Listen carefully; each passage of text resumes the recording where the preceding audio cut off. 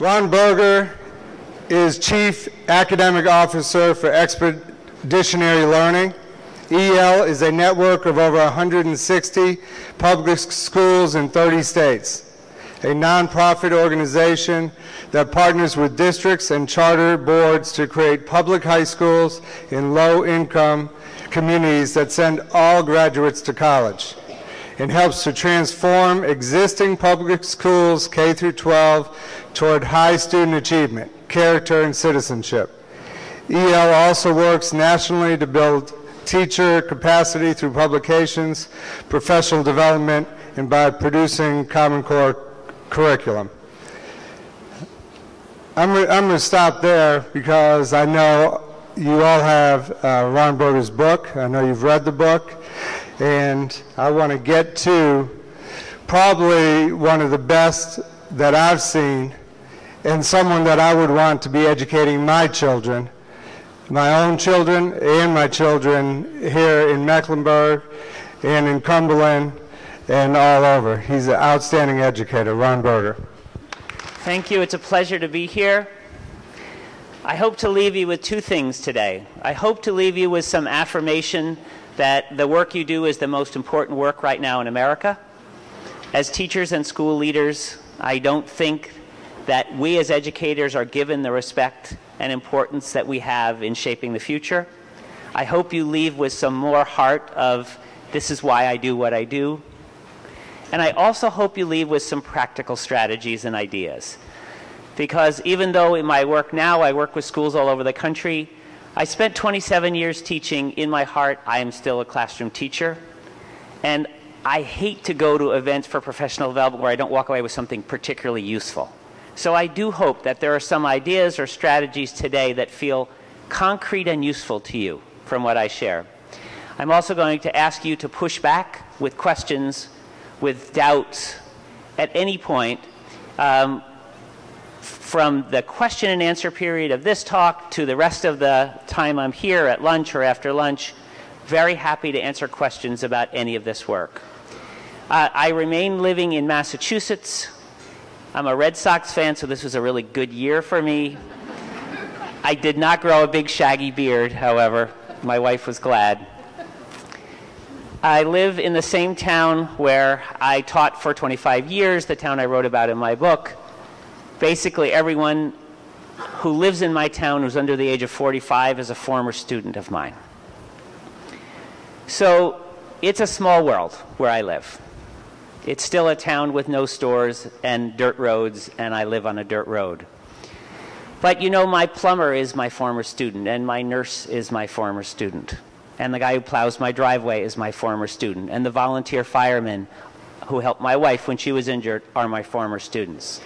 So, this obsession I have with quality is something that's actually quite selfish. Because if the students that I taught have that ethic, of excellence, that sense of quality, my whole life is better. And I think even though we're a much broader country than the tiny little town where I live, I think of that in a broad way. That if our kids, your kids, have that obsession with doing things well, with creating things of quality and being quality human beings, all of our lives and our communities will be better. I think as a country, we're obsessed with the wrong thing. Right now, we're obsessed with assessments. We're obsessed with getting kids ready for tests. When a student graduates from school, she's judged for the rest of her life by the quality of person that she is and the quality of work that she does, not by her ability to do well in a two hour assessment. And yet, all we do in schools these days is be concerned about getting kids ready for assessments even though it's a skill that won't matter in the rest of their life. Imagine if our obsession with schools was creating quality kids who do quality work, because that's what really does matter in life.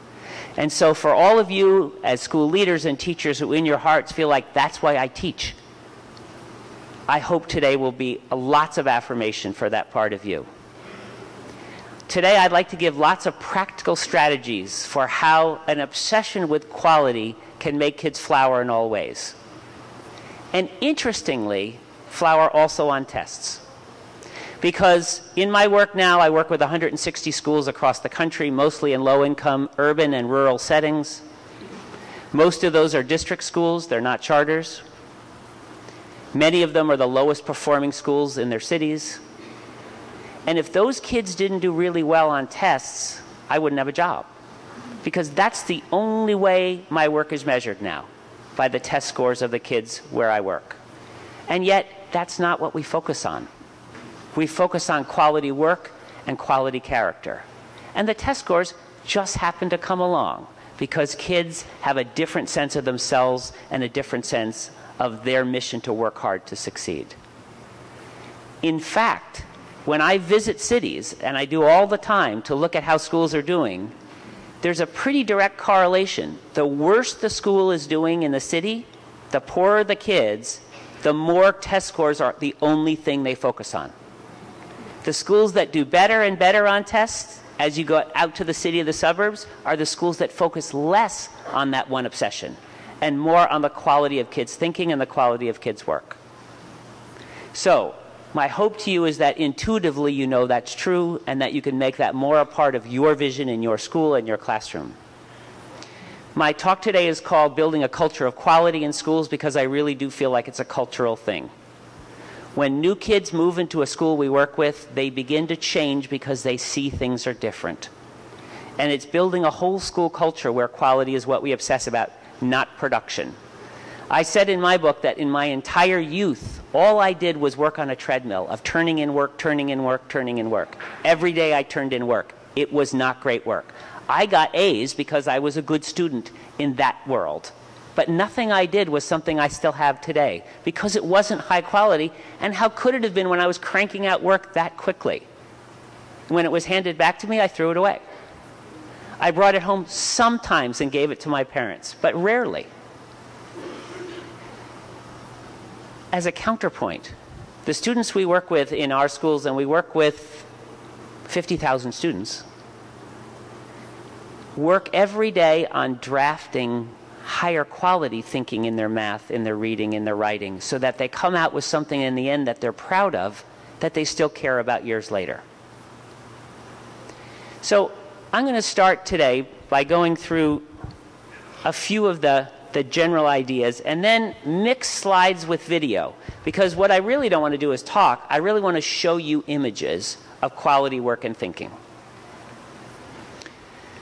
So, when I say quality, I mean quality in many dimensions. The first is the kind of people we are, having respectful, kind kids who treat each other well. Our integrity and our citizenship, as well as the quality of what we craft in schools. It's who we are and the kind of work that we do. And the way that I think kids become people obsessed with quality is allowing them to contribute. All of us want to contribute. Every kid wants to contribute something. So, where do they have the opportunity in our schools and classrooms to actually contribute? For some kids, the only place they feel like they contribute is in sports or in arts or in music. And those are great places to contribute. But can we also make sure that those kids have an audience for their work in academics as well as in sports and in music and art? So, in many communities, the only time the whole community shows up at school is to go to a chorus concert or a soccer game. Now, I played soccer and coached soccer. I was in plays in high school. I am, I am a great fan of sports and arts. But that should not be the only time that kids have an audience for their work. Everything kids do should be leading for an audience beyond the classroom so that you, as teachers, are the coach, not the audience for their work. And we need to give kids the opportunity to do what I call good work. I'm using the word good work borrowing it from Howard Gardner. I was fortunate enough to do my graduate work at Harvard Graduate School of Education with Howard Gardner, who is the man who did the multiple intelligence work. And after his multiple intelligence work, he moved into something called good work. And he defines good work as being excellent, ethical, and engaging. But since we work with preschool kids as well as high school kids, and they don't know what ethical and engaging actually means, we've, with Howard's permission, changed that to good work means it's good in quality, it's good for your soul, and it's good for the world. And so we are saying to kids, you are getting smart to do good. Not to make a lot of money, not to get famous, but to do good. And it seems crazy, but I do feel like there's a virtuous side of every kid who wants to contribute something. And that kid wants to be able to do something that he or she is proud of. Whether that's just an illustration they did that's beautiful, or a, a, poem they wrote that's beautiful, or a major project that transforms their community. It's that idea that they're contributing something of value beyond their classroom. And so our mission is can we get opportunities for kids to do good work, to contribute beyond their classroom for a public audience? I'm going to stop my chatter now and move to video. I'll give you one example of what I would call good work. These are middle school students, one of my favorite schools in the country that I get to work with. The school is in Portland, Maine.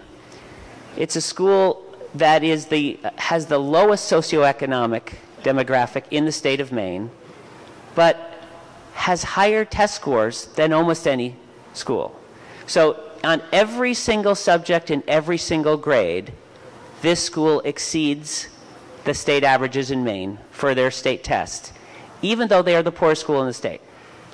They also are a school that's a refugee placement school, which means that a third of their kids were placed in the school without English as their first language, sometimes without any English, sometimes without any school background, because many of them are Somali and Sudanese. They have 30 languages spoken in this school. So, how can they be a high performing school when they've got the poorest kids and they're dealing with 30 languages?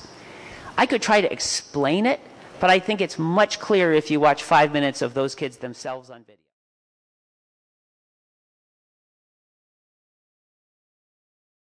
But you're from Arkansas. Yeah, and I grew up in Black Major. Hi. Good morning. Hello and thank you so much for coming. In Windsor 7, we've been working on an expedition called Small Acts of Courage. This expedition focused on the civil rights movement in the United States and the local community members whose small acts needed to be captured for all to read. Today, we just finished our culminating event for our expedition, Small Acts of Courage. This is an expedition that focused on the civil rights movement, and we um, studied the civil rights movement and major events in the movement, and then students interviewed local citizens who participated in some way or had some connection to the civil rights movement. Our presentation today is dedicated to our interviewees.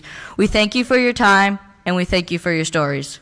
Today, as part of our culminating event, we presented our work to parents, but most importantly, to the interviewees so that they could see the work that the students completed in their oral history collection and they could hear the words of the students as they paid tribute to their interviewees. Ida Marie Gammon Wilson's Small Acts of Courage contributed greatly to the civil rights movement. In college, she joined students practicing for the Nashville sit-ins. They practiced how they would handle segregation at the lunch counter. They also practiced ways to stay nonviolent. Ida was a part of the Nashville sit-ins and also helped other students get a diploma by taking their places in their classes and helping them study if they missed opportunities to get information. Throughout the sit-ins, Ida courageously worked behind the scenes to keep students in school and on the front lines of the integration effort. Ida remains active in civil rights today, as well as gay and women's rights. She is a great inspiration. I think this expedition works because, first of all, the content is extremely compelling for students. With Brown versus the Board of Education. Their experience with the interviewees creates an emotional connection to the content that they cannot get in the classroom and really motivates them to work hard to write their stories and to present their work to their interviewees. Julia Adams is a selfless woman who accomplished a lot in her lifetime. During her senior year, she befriended Josephine Boyd, the only African American student in the newly integrated school. She went over to Josephine Boyd and asked her to sit with her and her friends at lunch. This was an act of kindness that would change both of their lives forever. Taking a courageous stand has had an impact on Julia's life. One day, a woman with a baseball bat was looking for her at school because she felt Julia shouldn't be helping Josephine. Years later, Greensboro High School honored Josephine for being the first black student to integrate the school, and at the ceremony, Julia Adams gave a speech. Even today, Julia Adams can be found helping others. We want to set every student up for success. So we had a rubric involved. I taught kids how to stand correctly. We talked about eye, uh, eye contact, volume, speaking slowly and clearly, and we practiced those skills in my classroom. There also was rehearsing where we took the students through the process of what would happen at the culminating event, and it all felt very familiar to them today. Windsor 7 is honored to present our four volume, volume collection of oral histories related to the civil rights movement to the African American Collection of Maine. Thank you for supporting us throughout this project. Sometimes it's not possible to get every student in front of an audience. So it's important to build in some structure where students can celebrate their work and share their work with a significant adult. And we often find a reception after the event really works well for this. You know, it is really wonderful to find that something small that you did um, has an impact on the next generation. It was it felt good to do it. Her story was important because she helped Josephine Boyd become the first African American to integrate Greensboro High School, and her story needs to be heard. Culminating events are a time when every student's work is celebrated, where every student has the opportunity to be a part of their individual success and the group success. It was an honor, I guess, to be able to present her story to her and um, show her how much she actually affected people. And to have their work appreciated and to share that with the community and to realize their work is a part of something much bigger. Textbooks are often behind the times. They do not reflect how we are and where we've come from and where we've come to. And this kind of presentation by these young people, I think, would be just an absolute wonderful experience for everybody to have because we are making some strides in this nation.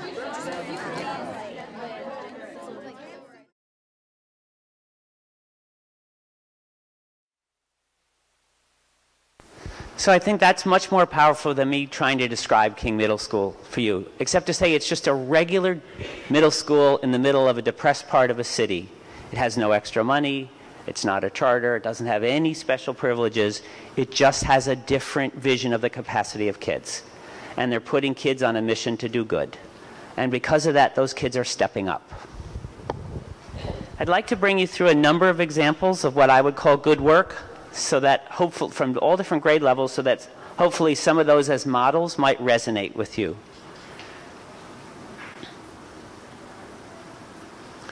Here we go. Ninth grade students in Springfield, Massachusetts. This is a district school that uh, we helped to open, but it's a regular district school in the middle of the city. This is uh, Springfield, Massachusetts is a uh, a city I wish was in the triangle, frankly. I, it's a city that had very robust manufacturing 100 years ago and now has half its population and lots of boarded up places like Detroit. Um, and the public schools do very poorly. We came to the district in Springfield and said, We're willing to open a high school with you. It'll be a regular district high school, but you have to let us do it differently. If you allow us to do the teaching and learning differently, we'll guarantee we'll get 100% of kids into college. Now, they thought we were nuts because at the time, and still, the other high schools are only graduating 50% of their kids. And only 20% of those kids are going to college. So, how are we going to get them all into college when it's the same kids? But at that time, the superintendent was uh, visionary enough to say, We'll give it a shot with you. And he allowed us to open this district school it's a lottery school to get into. And we did. That school has now had four graduating classes. It's been eight years. Every class, every student has gotten into college. Last year, their classes are small. I will tell you right now, we don't open comprehensive high schools with 3,000 kids because we can't do it and get them all into college. Last year, uh, every class is 100 kids 100 ninth graders, 100 10th graders. Last year, 90 kids graduated because some kids had moved away. Kids are not dropping out. Of the 90 kids that graduated, 84 of them went into college, six of them got into college but went into the service. Every kid was a success. We believe that every kid should get into college. We have some schools where kids get into college and don't choose to go to college right away because they want to enter the service or they want to enter a job right away. But they will know for the rest of their life that they are college material. If they're 25 and they decide, I think I want to go to college, they think, I got into college when I was 18, I can do it again. I know that college is not necessarily the right answer for every kid and their family at this time, but I do think that once kids have gotten into college, they have a different self image for the rest of their lives. And that's been our mission. This is one of many schools that we have with 100% college acceptance. Why is that the case? It's projects like this that has transformed that school. This is called Greenprint. This is a report for the city of Springfield that's a blueprint for a greener city. These students in the school, most of whom are low income kids of color, were trained by city engineers to do energy audits of city buildings. And they then went around to the city buildings they know best, which are the schools, and figured out how energy efficient are the schools. So these kids went in and checked the insulation, the windows, the HVAC systems, the boilers, and they figured out where the city was losing money in its schools. They created a report for the city and they publicly presented it, saying, here's the elementary school, here's the middle school, here's how much money you're losing every year on poor energy treatments, and here's how much money you would save if you invest in all of these treatments. They suggested to the mayor that he invest $156,000 into energy retrofits for city buildings. Because they did this publicly, part of our ethic about work being public, the mayor actually had to respond. So the mayor went back to his city engineers and said, What do you think? And they said, We trained them. They're right. Their data are good. And so the mayor, and he's still the mayor, Domenic Sarno, bless him, was open about this idea. And he said, We're going to invest $156,000 of our money to follow the recommendations of these ninth graders. He did. And in one year, they saved $80,000, $84,000 in energy expenses. Within two years, they had saved $160,000 in energy expenses. They had more than made back every penny they invested, and now they were saving money and helping the environment at the same time. The third year, he came back to the school and said, We just set aside a quarter of a million dollars for energy retrofits if your students in this school can be energy auditors for our city. These are kids who could have seen themselves as we're the kids in the ghetto that never graduate and never go to college. Instead, we're the kids on television and on the front page of the newspaper telling the city how to invest its money. Now, the kids did point out that it was kind of like slave labor because they were doing pretty high level work and not getting paid yet. But they also pointed out that very soon, when they all graduated from college and they were assuming they would all graduate from college because this is a 100% college school, they could make a lot of money doing what they were doing now as ninth graders for free and helping the world at the same time. A perfect example of good work. At a low, lower grade, one of my favorite projects, the A to Z Book of Homelessness, created by third and fourth graders in DC. These kids took on a project of studying homelessness. The reason they took on a project of studying homelessness is that their school was surrounded by homeless people. In order to get into their school, you had to walk around homeless people. I used to do that all the time. These kids decided we need to make a difference. So they split into small research teams, five or six kids and one adult, and they went out with three guiding questions. They went to different agencies, homeless shelters, soup kitchens, police stations, social workers, with these three questions What are you doing to help the homeless? Why do people become homeless? And what can we as kids do to help the homeless? Then each research team came back to the third and fourth grade and reported what they found, and the class came up with an action plan. Some of their action plan was charity, some of it was raising money, getting clothing, getting food. But the most important part of their action plan was they learned something that they didn't know when they started, which was that homeless people lost more than their home. They kind of lost their humanity because people stopped treating them as people after that. They didn't want to make eye contact with them, they didn't want to talk to them, they felt like they were a pariah. And so these kids said, We need to educate the world that homeless people have humanity, that they're still human. And they decided they would start by educating little kids. Now, if you teach high school, you think third and fourth graders are already little kids. But you know, if you teach third and fourth grade, that they don't think of themselves as little kids. The little kids are the first graders and the kindergartners. So they created an ABC book about the humanity of homeless people. Every page in this book is written by a different kid, and it's something about how homeless people are human too and have feelings that we need to remember. L is for lonely. I'm lonely because people don't notice me. And then the illustration of loneliness by that third grade girl. H is for heart. Homeless people have heart. They help other homeless people.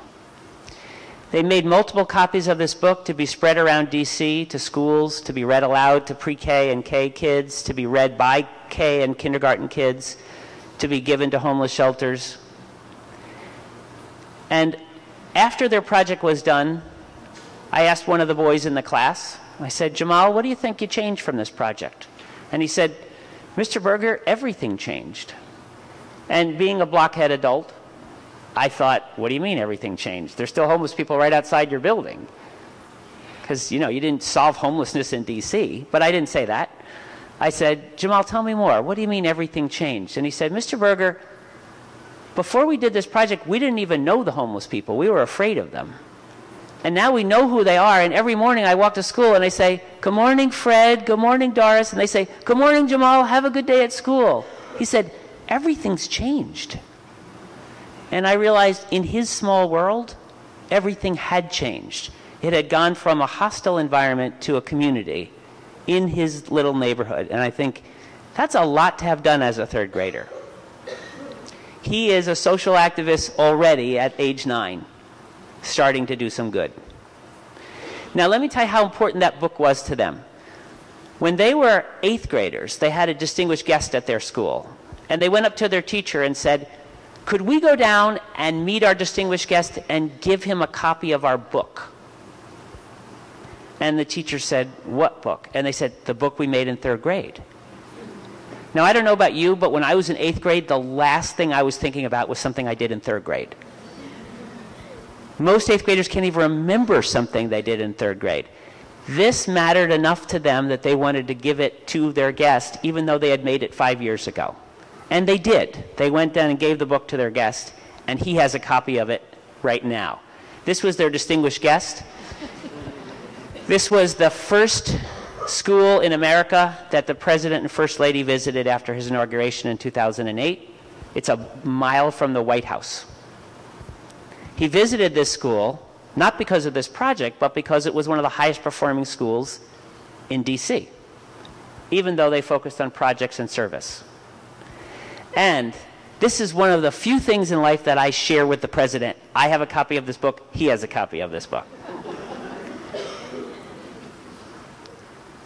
We don't need to choose in our work between success on academic measures like tests and college and doing good work with kids. The, those two things work together. The schools within our network who do the best work are the schools that also score the best on tests and get the most kids into college. Working on one is the same as working on the other. When you look at the test scores of students in our schools nationally and in regions, they are double digits above the rest of the region, sometimes 25 points above. And these are schools that don't focus on test prep and 100% college acceptance is our standard in our high schools. So it's not a choice here. You can have both. I'm going to take a break for a moment from my urban journey to because some of you have read my book I thought it would be only gracious to sort of show you my life. So this is my town. It really has only seven buildings, other than homes in the woods and trailers. It's got the church. It's got the post office, which is also Mary Dillman's home. And I taught Mary Dillman's kids, and I taught Mary Dillman's grandkids. And you got to go into her house to get the mail. It's got the town hall, which was the two room schoolhouse until I arrived in the early 70s. And the one business in the entire town is the Shoot Spray Athletic Club. If you live in Raleigh or in Richmond, you'd think this is a place with elliptical trainers, but it's a country bar. When you first come to town, you think, why is it called the Athletic Club? But there's a lot of athletic drinking and dancing and watching of sports that goes on there. So this is the only town business, and it's surrounded by pickup trucks half the year and snowmobiles the other half of the year. And then there's the school. That's the whole town. In this school, every older kid is assigned a younger kid. They take care of that younger kid. They help teach them to read. They help to teach them math. They help them to put on their snowsuits. They help them to tie their shoes. They protect them. They ride the bus with them. And Unlike me, when I was a kid, when I was in first grade, I was scared of sixth graders. In this school, every first grader has a sixth grader taking care of her all the time. Here's another wacky thing kids work in the school where I worked for 25 years, and not just on schoolwork. They cooked, they cleaned, they raked leaves, they shoveled snow. And I know that sounds nuts, despite the fact that it happens all over the country of Japan, half of the maintenance of schools is done by kids. In this country, people would say, I don't send my kids to school to scrape plates. Except, luckily, in my community, since people learned that that's just the way it was at this school, they would say the opposite. They would come to school and say, I have a really hard time getting her to scrape plates at home. I'm so glad she does it here and likes it. And you can imagine that if kids are shoveling snow and cooking and cleaning, it's just a much cleaner school if kids are helping out with the culture that they live in. I opened my book with the story of my fifth and sixth grade students building a playhouse for kindergartners, which they co designed with kindergartners. Every day after school, kids built, and on weekends. This, it's hard to tell from this, but it's actually a two story playhouse with a tiny staircase inside. Uh, that's Colin coming out of that playhouse right now. Now, it's a blessing living in a little town with no government. I live in a town with no mayor. The government is everybody in town shows up in the only space in town, which is the school cafeteria auditorium space, and fights with each other in a town meeting to make any decision. And it's it's small town democracy at its best and at its worst. We argue about $50 all day. I mean, it's hard. But the beauty of having a town with basically no government is that we could make the kids take over all the jobs that adults do in regular towns. So, when the state of Massachusetts, for example, said they needed an amphibian census for each town, which amphibians can you find that live in your town? Other towns hired a naturalist to do that. We had no money, so we used 38 third and fourth graders. And those kids spent their time in school and after school going into swamps, going into woods, and collecting amphibians. They became experts in identifying both adult and even larval amphibia. They became total experts, like young herpetologists. And they collected a lot of amphibians after school and on weekends. They took photographs, they took measurements, and when the project was done and they sent their data to the state, guess which town in Massachusetts sent in the most amphibian data? It wasn't even a fair fight. Every other town had one guy or one woman showing up for a couple days to do a sampling we had 38 kids doing nothing but hunt amphibians every day after school, every weekend. They got a, letter back from the state saying, Dear third and fourth grade herpetologists, thank you so much for your great work. Your town sent more data than any city in, or town in the state of Massachusetts. Went on and on. But at the end of the letter, it said you did make a few errors in your species identification. Two of the species you listed don't actually live in your town. So, what's the one thing that kids remembered from that letter? They were so mad. And then they had to learn how to write a polite letter back. and they wrote back and they said, Thank you so much for your thanks for our letter and our data, but we respectfully disagree with your critique of our data. We believe we made the correct analysis. Here are more photographs, here are our measurements, and we invite you to come meet with us.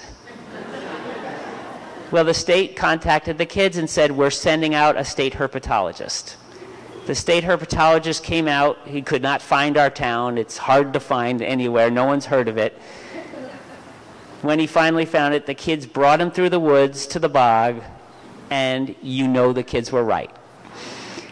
And so they showed him that, yes, they had correctly identified these two species. And one of the kids said, Mr. Berger, we're not just practicing to be scientists, we kind of are scientists. And they were. So they realized that if there were going to be a field guide to the amphibians of our town, they had to make it because no, they were the only ones who actually knew what lived in our town. So they created the first amphibian field guide to our town. This is a cover by a third grade boy. Amphibians of our town. This field guide ended up being very important to me because I brought it to that school in Maine, King Middle School, that I showed in that video about the Small Acts of Courage project. And they decided, okay, we'll create a field guide to the little bay right next to our town. Now, it turns out that that little bay, Casco Bay, is actually visited by thousands of tourists all the time because Portland, Maine is a tourist site. And so, this, unlike the little field guide in our town, which nobody's ever heard of, people would actually buy this field guide. And so, this field guide, created by students like this who come from Sudan and Somalia, along with very poor white kids growing up in Portland, has a page by every kid in the seventh grade. And it's sold at bookstores and tourist shops and the National Park Service, and all the money raised goes to help restore Casco Bay. So imagine being a seventh grader and being able to take your parents or your friends into a store and saying, This is my book. This is our class book. I wrote this page. This is my research. I was never that proud of anything I did in all of my education through graduate school. These seventh graders were that proud. And because the origin of my organization was a combination of Harvard Graduate School of Education and Outward Bound, which is a wilderness organization, we're sort of into pushing kids out of their comfort zone. And together, getting everybody up the mountain. And so in this school, which has a very outward bound tradition to it, they didn't allow any kids to draw a jellyfish by going online and looking at a photograph of a jellyfish and copying it. Those kids had to go down to the bay and put on wetsuits, which we borrowed, and go underwater with underwater cameras and take pictures of these. So, why have kids go in the freezing cold Maine ocean to take pictures of jellyfish when they could download it online and copy it? Because this experience makes you think being a scientist is the coolest thing on earth. And you cannot wait to go home and tell your parents that your teachers are so crazy that they put you in a freezing cold ocean to take pictures of jellyfish it's a life changing experience. And if you wonder why in that school, kids from Sudan sit next to kids that were born in Portland and laugh at lunch, it's because they, the day before they were freezing and screaming together in the water and getting through it together. Because there was some adventure in their work. Because they weren't sitting at a desk doing test prep all the time, every day. They were really tackling life. I brought that King Middle School Field Guide to the lowest performing middle school in the state of Massachusetts.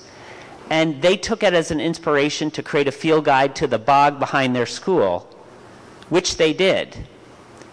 This school went from being the lowest performing school in the state on ELA to equal to district averages within three years.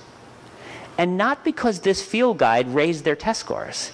It's because this field guide was the first thing they had done that they were proud of.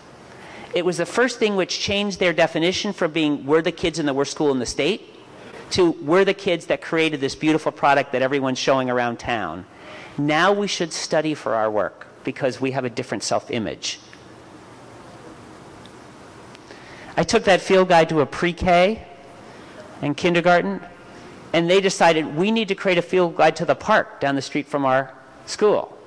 And these pre K and kindergarten students created a field guide along with an arborist that's accurate, even if their spelling isn't yet perfect. I took it to a third and fourth grade in Rochester, New York, and kids created a field guide to a local park. In my collection now, I have 60, maybe 70 field guides from around the world and around the country of kids who have decided let's contribute something by creating a field guide that doesn't exist to something local. And I took that field guide to High Tech High when High Tech High in San Diego, California was just getting formed. And the founders of High Tech High sat with me and this field guide from middle school, and they said, well, geez, if middle school kids could do a field guide like that, and we're creating a project based high school, what could we do here? And a few years later, they created their first of six field guides, foreword by Jane Goodall, sells for $25, thousands of copies in each print run. It is the definitive field guide to San Diego Bay, written entirely, photographed entirely, laid out entirely, researched entirely by high school kids. So, this simple idea that started with my third and fourth graders creating a field guide has now spread around the country and around the world as just an idea of let kids do real work. Let them do something important that they can share. And High Tech High has taken it to this whole new level where they now have six $25 field guides that you can order online from them that raise money for the school. And of course, it doesn't just have to be science you not only can research amphibians in your neighborhood, you can go out and study the Depression by interviewing everyone in your community who's lived through the Depression and create oral histories of their lives. Or you can go out and study World War II by honoring the veterans in your community who served in World War II, like these kids in our high school in Dubuque did, and told the stories of World War II veterans and honored them as local heroes. Nobody had told these people story ever. This was un, unmined, beautiful, real life stories. And if you want to take a kid and have them learn World War II history, one way is to say, next week you're going to have a test on World War II. For the kids who are used to getting A's and want to please their parents, they'll study. For the kids who are used to doing poorly, they could care less. On the other hand, if you say, in two weeks, you are going to be walking into a room with a veteran whom you need to honor, and you're going to be interviewing him about his life in World War II. And if you don't know the war really well, you're not going to understand anything he's talking about. Those kids think, oh my God, I better take this seriously. We're creating a book, and I better learn my history. You can see that those kids study their history with a whole different mission when it's to do some good for the world than when it's just to please their teacher.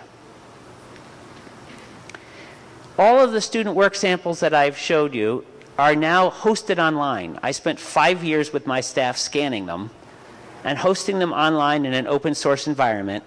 I have some handouts on tables that give you that web address, but I encourage you, we now have about 300 student projects uploaded online that you can read the context of, you can see the standards they hit, and you can download the project and print it if you want to use it with your own students as a model. They start with three year old work that goes all the way to 12th grade work. And it's all open source because teachers have given it to us as a nonprofit to share with the world. This is just sort of spreading. I do want to say that when you look at beautiful student work, you often think, yeah, but my students, you know, I mean, you must have picked the super fanciest work to show. But it's not about choosing the super fanciest work. The best way to tell that story are my, one of my favorite sequences of slides, and I actually mention this in my book. This is a strange product. It's a cave home design done by a kid. It's a place for people to live underground. It's done by a sixth grader named Jamie. This is Jamie. That's her real name. She lived right next to the elementary school where I taught for 25 years. Very poor family. No dad in the family at present. Mom, who ran a daycare center out of their sort of trailer home. But Jamie had her own horse, which she bought with her own money. Because Jamie was the most sought after babysitter in our town because she was so together in every possible way. She was creative, she was responsible, she was tender, she was sharp and, and energetic.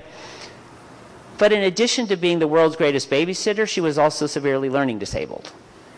And so in school, Jamie struggled with reading, with writing, with math. She was in tears a lot. Because we were a project based school, she still found success. She was in the mainstream classroom getting support. And here's Jamie as a first grader on the left when she published her first book. So she found pride in her work.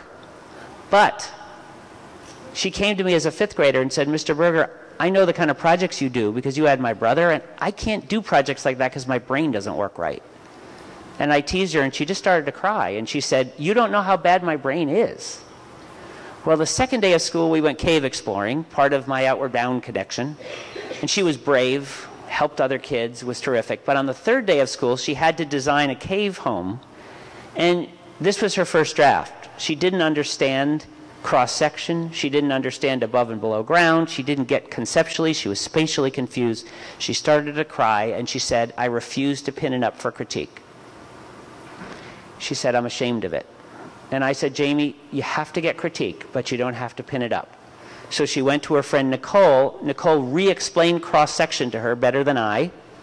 And on her second draft, she actually gets this concept of cross section. She said, Mr. Berger, you can pin this one up for critique. It's much better. So we did. And one piece of critique she got from the cutest boy in the class was that those overlapping rocks looked really good on the top. And so her third draft was all overlapping rocks. Then she got some critique that her second draft actually had better space and she said that's not impossible that's not possible this is my latest draft it's my best and they said yeah but you lost some of the space in this draft when you went to the all overlapping rocks.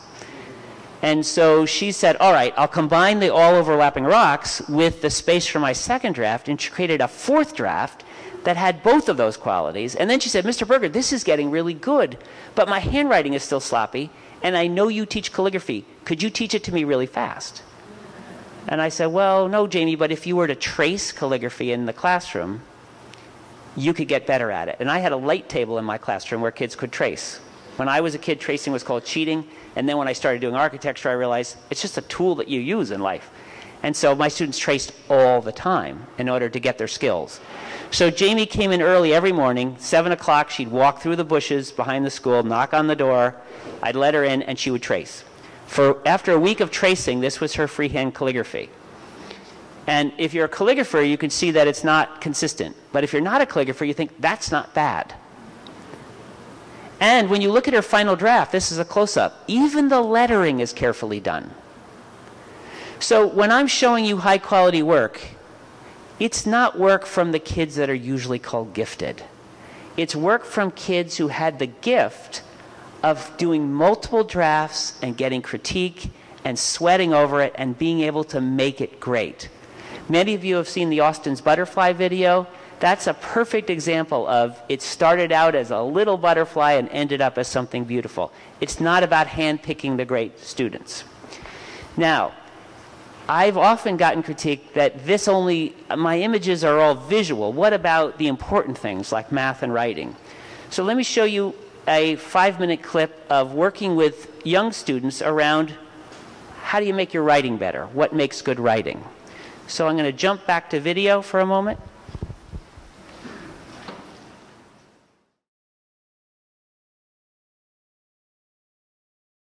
We're going to read one story today, just one. And it's written by a first grade boy named Nate. And we're going to try to figure out we're going to try to figure out why this story is a good story. And I'm going to tell you right now, I think it's a good story. I really enjoyed it. Today we were working with third graders around the quality elements of a fantasy story, using critique as a lesson. Once upon a time, there was a dancing ballerina prince who was named Ernie. Prince Ernie was in love with beautiful prin- Princess Mac. Just giving kids descriptors of what we hope they will do, whether those descriptors are through learning targets or whether they're through a rubric, it can often feel to kids like it's just words. I like this girl, and I don't know if she like. Do you know what I mean? Much more powerful is to bring in a model of great work and then have the kids themselves be detectives, to have the excitement of discovering quality themselves and then naming that quality in their own words. The battle was tough, but he was tough. I think it's particularly important that we're using the work of real students. Hit them and smack them right in the bumper. To bump in the butt. Yeah. it's kind of a nice way of saying but. They're amused by it, they see problems with it, it's not perfect, and yet it has qualities that make it sparkle and shine, and it's available and accessible. They know another kid did it. And they lived happily ever after. Can you all give Rosa some applause here? So your job now is to be detectives at your table and think, hmm, what did Nate do that makes this story interesting? I think he used a little bit of imagination in his um, story. Madina- imagination. And he made up like characters. He made up Princess Ernie. Prince Ernie. He probably used other stories to get the idea of that this story. And he decided to copy a princess book, but not like copy it, but like think of princess stuff in that. And he add more details. Okay, time's up. Papers down. Who can name something for me that makes the story work? And Jamal, I'm going to start with you because you immediately said, I like this part of the story. Um, bumper. So, two things I'm hearing there. One thing is you like it because it's funny. I am, in a positive way, manipulative in these settings by when I hear a kid have the kernel of a great idea that I see. Anybody's story can be helped by some humor, but I also hear you saying, Jamal, that his word choice was good. Something that's a kernel of an important convention in a discipline. I will rephrase it for them and then try to put it in language that, that makes it really available for all kids. Great. What else? He added more details. Can you give me an example there? I think that's right. Page seven. Good. Read aloud. Right, the part that you thought had some good detail. Was not over he. And when there's important features in the work that kids have not yet come out with, I might pose it as a question. Now, did, did he spell everything right? Um, no. And then they sort of discover it on their own, but in truth, I've planted that for them. If you have a great word and you're not sure on how to spell it, was he brave enough to use it? Yes. Yes. So he was brave enough, be brave, to try hard words. One of the things I really loved in today's critique session was their explication of his character as having tension between being brave and fighting battles, but also being scared. I was afraid you wouldn't like me. Me too, she said. That's what I was. And why did it surprise you? He was afraid. Good. Oh, Tatum, this is so great. Because do you think that this guy's a pretty brave guy? Yes. Yes. Me too. Like he, what did he stand up to? What are the obstacles he stood up to? He the, was vill- the trolls, And the witch. the witch. I always come into a critique with a strong piece of work, and I know the qualities of that work that I hope kids will Did he get find. scared? When he was trying to talk to her. He was shy. Exactly right. I love that, Tatum. What else, Maureen? What do you see? He had imagination. Good. Princesses. So the critique is really doing two things at once. It's teaching them the attributes of a high quality piece of work in that genre. Trolls and stuff. Uh, imagination. But at the same time, it's teaching them the critical analysis of how to critique work, which they then use for their own self analysis. It, it, it makes them better self assessors and it makes them better peer assessors. Great. Having something a little scary is okay to have in your story. Yeah. There's not one right time to use a critique. It, It's hitting the moment when kids need that information, when everybody could be lifted. You know what? I'd like to make a longer story. I'd like to use some more imagination. I'd like to put some more obstacles in it. And it's, it's using a, a tangible, concrete piece of work to do it, not just language to do it. It gives them a vision. Familiar with? I can't spell them perfectly, but I'm going to try them. I'm going to try to have some surprises in my story.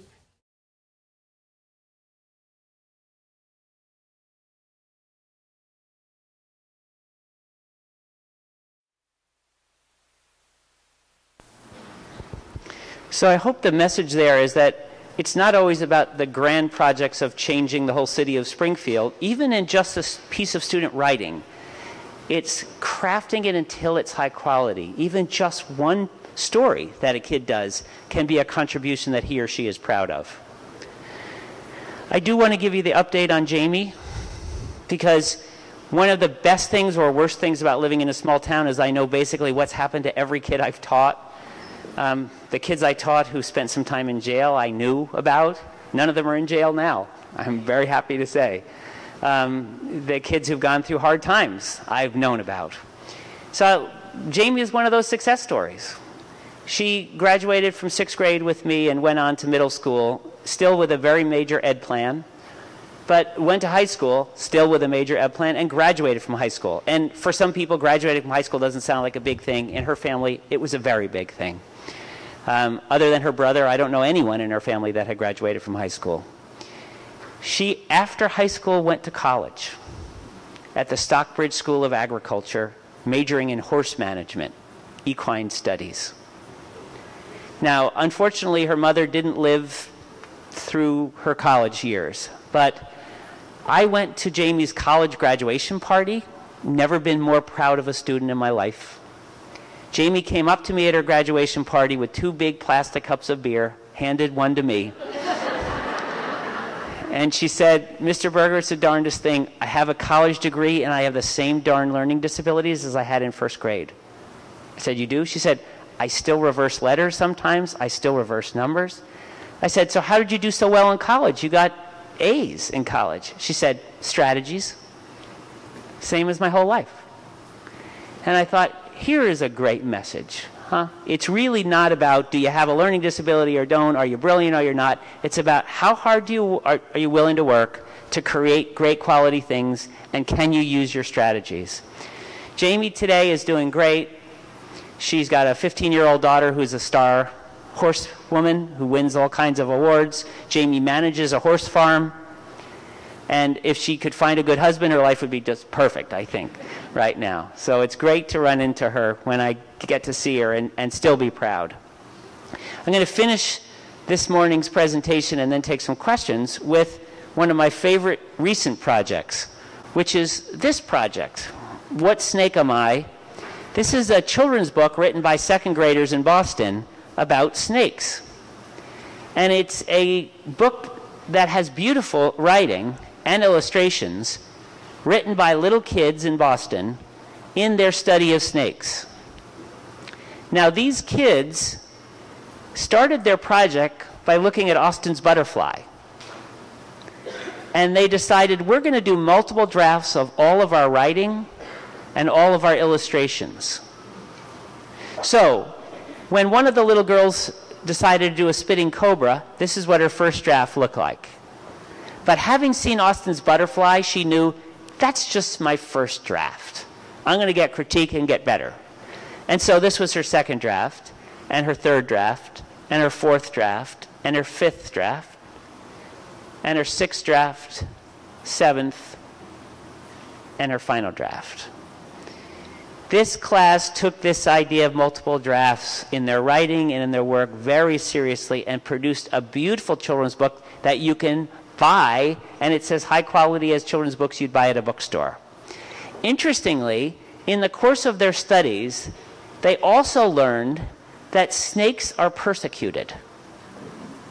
They had studied the fact that people can be bullied and persecuted, and they realized snakes are bullied and persecuted. Number one, people hate them and say bad things about them all the time. When you read stories or fables, snakes are always the bad guys. And people kill snakes even when they can't even identify them. So they decided snakes needed an advocate, and they needed to stand up for snakes. So they discussed how could they create something to make people respect snakes that would reach lots of people. And they decided that the best way would be to create a music video about snakes that would go viral. And then everyone would learn. And there were some people like I who tried to explain to them that just creating a music video doesn't mean it will go viral. It doesn't just happen that way. But luckily, they didn't listen to me. And they created a really high quality music video where they got critique and they did choreography and they got access to a studio. And guess what? It went viral. and it's been seen by almost 40,000 people. And my wife is not an educator. My wife's a nurse in my small town, uh, a visiting nurse. She goes to people's homes. And there's not a whole lot I do in education that I can get her interested in. She gets tired of my same old stories.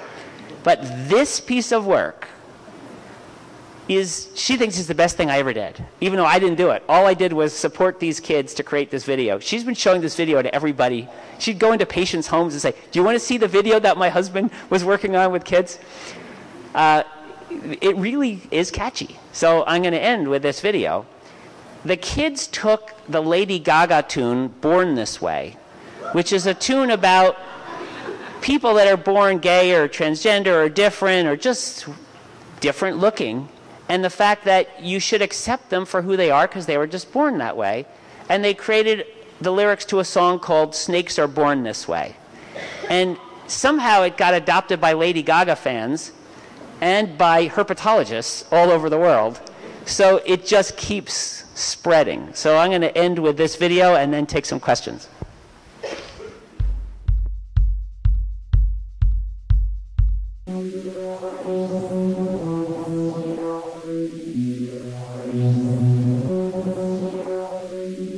It doesn't matter if you're scared of them or not. Just open up your heart because snakes were just born this way.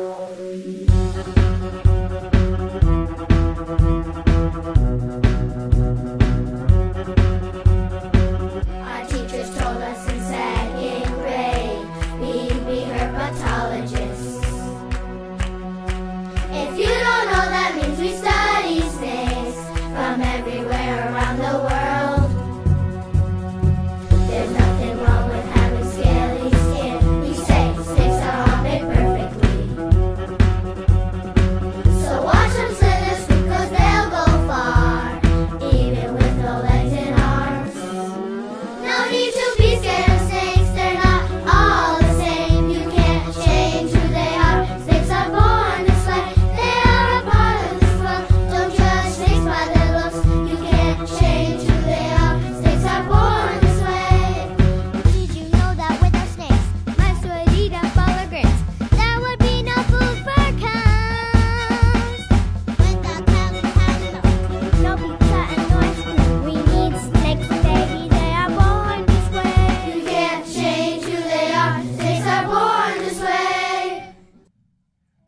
was great. That was actually a really high pitch note.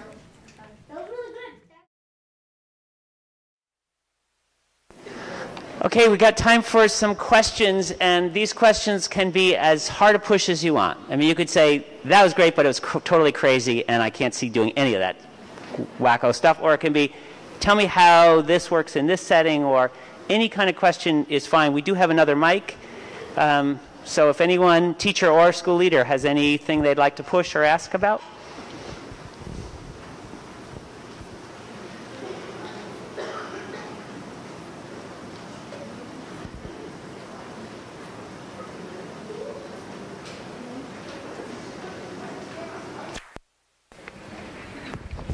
Okay, in the realistic world, when we know that we don't want to focus on standardized testing, but then there's a part of us that part of it that we have to. How do you find the balance? And what portion of your day is attributed to project base, and then the standardized test hovering over you as well? Great question. Know that I am not suggesting that standardized tests don't matter. because it's the primary way in which you are judged, your school is judged, your students are judged, and it's the primary way in which I am judged. When I go in to meet with superintendents, when I go in to meet in, D- in DC with state people or district people or national folks, despite the fact that I travel with a suitcase of beautiful student work, what they really want to ask about first is the test scores. That is the currency of all conversations right now. So I'm not suggesting that it's not. It's always a balance. Here are the things I would say. Your projects should be hitting on the same skills as you need to prepare your kids for those exams. You're not picking project ideas out of the blue that you have to sort of squeeze in around the edge of your teaching around that. If you know that your kids are working on concepts in reading and writing that they need to get better at, you build your projects so that they are immersed in those same skills in the projects, so that they are critiquing and building work that gets them ready for those very same things. So your projects are rich in literacy. They're rich in data analysis. They are rich in the things that you need to get kids ready for. Now, of course, when a test is looming, there's going to be some things that you need to get make sure kids are ready. They need to have test taking skills and they need to understand the format of the test. I think there's no problem with taking that test seriously. I just spent 2 weeks prepping my grandson for SATs, going over his house at night and doing it. it. You're crazy not to when they have high stakes. On the other hand, if that's what you do all day long, all year long, kids just check out. Unless they have some motivation from their family to be always the good student, why would they care so deeply?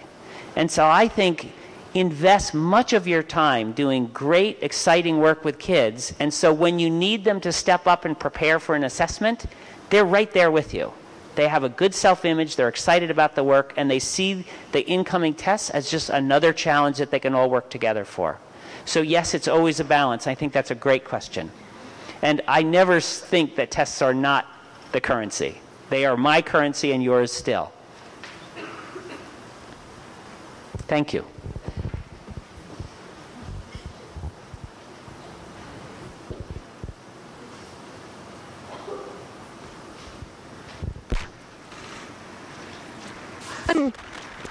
I'm wondering about the connection with the community as far as the studio and the parks and the people involved.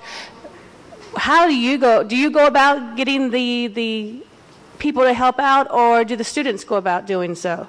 What's the connection there? How are they involved with that? Great. And so, uh, how do we get communities involved with this? I, I think every community is full of people that would love to help with what's going on in schools if they knew how they could help. And so the idea of starting to build around each of your schools a network of people that can support your work as experts and as collaborators, uh, once you get it going, it starts to, to feed. If you don't have time and personnel in your school, get a really dedicated parent who's willing to become your community liaison, to go out and talk to people in your community and figure out what they're willing to do. Are they willing to host kids? The big difference, I think, is using community in a different way. People are used to being asked to give money or just to pitch in their labor rather than to collaborate with you and be experts in some way. And parents and community members are really glad usually to pitch in when they understand it's part of something that's helping the world in some small way or contributing in some small way. A big change is what we in EL would say the change from field work, I mean, from field trips to field work. So when I was a kid, we took field trips, which basically means you go and you see something, and it's like a day off school. Field work means you're actually going out to do some research. And once your community gets involved in your field work, they know they're contributing to something different. The best way to, for me to distinguish field work from field trip is this. I was working with a first grade classroom, and they took those first graders in part of their state mandated study of colonial America to a restored colonial village. This was in Massachusetts, so there's a village called Sturbridge Village. It's like colonial Williamsburg. The kids went there and they saw the weaver and the baker and the cooper and the blacksmith. If they had come back and finished it, that would have been a field trip. But they didn't. They came back after their day of being amazed by how different it was in colonial times, and then they each chose one colonial profession to be an expert in. And one week later, the class went back to Sturbridge Village, and each student spent an entire day shadowing a cooper or a blacksmith or a baker and taking photographs and recording what they said. And for those that could write well, taking notes. And each of those students had a parent as a support researcher with them who could take notes for them. Now, it's really different when you're a parent coming along on a trip just to chaperone versus you are this first grader's research partner. You're helping write down what she's learning in the blacksmith studio or the baker's bakery. And after a day of researching, those kids came back and put together a presentation to teach all their classmates about what a colonial baker did or what a colonial cooper did. And when I visited that first grade classroom, every one of those first graders knew more about a colonial profession than I did. So that was the difference between a field trip and field work. The field work is research. And if your community can get involved in your research with you, they can pitch in. And so I think getting those folks in your community to understand that you're part of these new projects that they can contribute to in an important way. And once the word gets out, you can get them to bring their friends next time and to connect with their other companies and businesses and friends that they can support you. But it's part of the virtuous cycle of this that the community starts to get excited about the work you do. Um, maybe we'll do one more question. And yeah, right up front.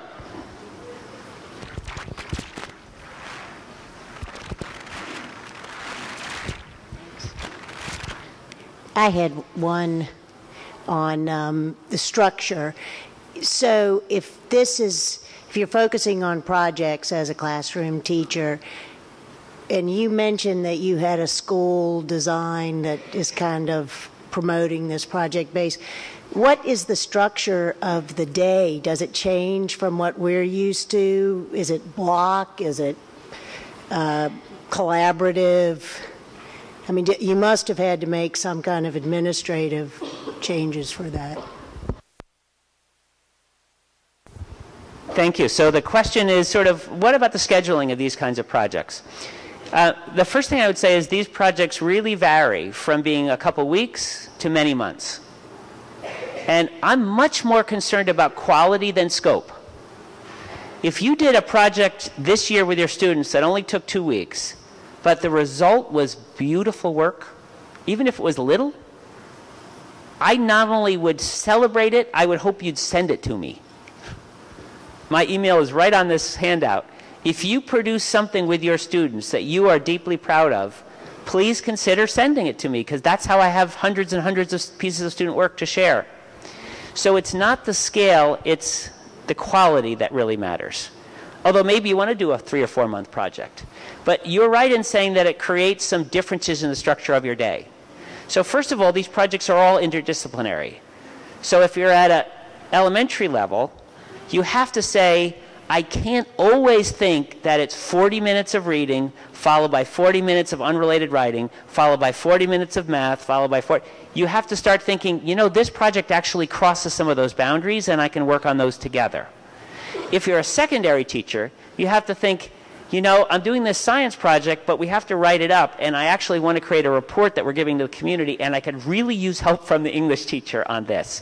So I am going to reach out to the English teacher on my team and say, would you be willing to dedicate some time to doing multiple drafting of their report on this or to reading journal articles so that they can understand scientific language? So getting some collaboration on a secondary level.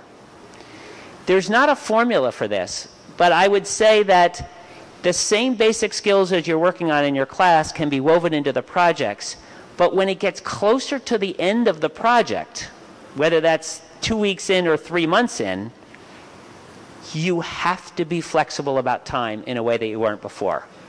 Because there's no way you can create a beautiful project in tiny chunks. You have to be able to have a math teacher say to the science teacher, or a science teacher say to the math teacher, can they miss one class so they can have a double session with me because we have to get in deep on this one? Or we need an entire day for rehearsing for our community presentation. And you have to decide, just like a, when the school play is happening and some kids are being released for rehearsals, if it's an important project, teachers have to let go of every day is going to be exactly the same. So, for example, when I told you about that fieldwork study where kids spend an entire day, that means that the reading teacher might miss a few students for her Tuesday thing because they're spending a whole day doing research out at a, at a colonial village. Or it might mean the gym teacher doesn't even get to see those students that day. You need to have a faculty culture where when there's an important project going on, people are willing to be flexible and in return, people will be flexible with them. So it, it has to be not so rigid at certain points in the project. And so it requires flexibility at the school leadership level, and it requires flexibility on a teacher level of saying, I'm willing to let my kids go on this fieldwork experience, or I'm willing to get them more time with you, and in turn, when I need more time, you'll be flexible with me as well. So I hope that we're not driven so much by time that we sacrifice quality always for that. Um, I was aiming for uh, 75 minutes, so I'm right there with time. But I will be here till 3. I'm very happy to answer other questions in person uh, in any way I can help. I, I hope that the main message of this is to empower you to feel like what you already believe about the capacity of kids to do high quality work, you feel a little bit more empowered to say, I'm going to try to carve out more time for kids to do work that they're proud of and that I'm proud of in my work. Because the work that you do is the most important work in America. I'm not just saying that, I spent most of my life doing that. Um, this is the future of America, the kids that you're teaching. So thank you for your service to this most important profession. Um, and I hope that you will be sending me personally some really cool work in the next few years uh, that you're really proud of that I can share around the country. Thank you.